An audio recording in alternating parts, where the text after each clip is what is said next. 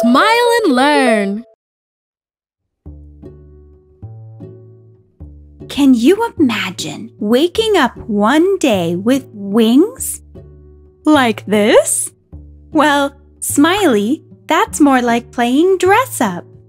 Today we're going to discover one of the most amazing processes in the animal world metamorphosis. In ancient Greek, meta means change, and morphosis means shape. Can you guess what this process is about?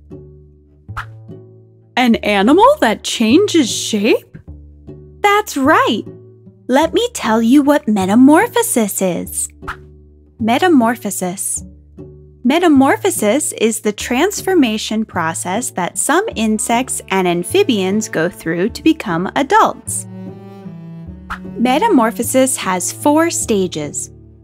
First, the egg becomes a larva, then it turns into a pupa, and finally, it becomes an adult.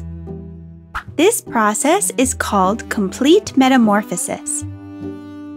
Animals like frogs and butterflies go through it. In every stage, the animal changes its shape and even the place where it lives. It's like being different versions of yourself in one life. Each species does this process in its own way. Today, we'll look more closely at the metamorphosis of butterflies. Let's see how that caterpillar goes from crawling to flying. Egg. Butterflies lay their eggs under leaves. From them comes a larva, a tiny, hungry caterpillar. Larva. The larva is the form some animals have when they come out of the egg. In this case, we call it a caterpillar. You've probably seen one.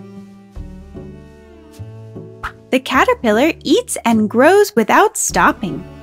In just a few weeks, it can gain up to 1,000 times its weight. Wow! During this stage, it sheds its skin up to five times. It's like changing pajamas. Pupa or chrysalis. In this stage, the caterpillar hangs upside down and closes itself inside a chrysalis, a kind of protective shell it makes by itself. It looks like it's sleeping, but inside, it's completely changing its body.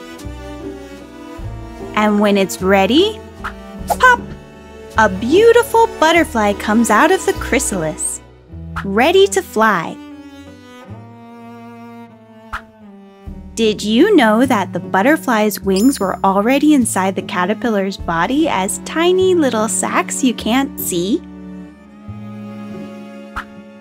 Did you all know that the caterpillar and the butterfly are the same animal? See you soon, friends! We've learned so much in just one video. Did you know there are many more videos?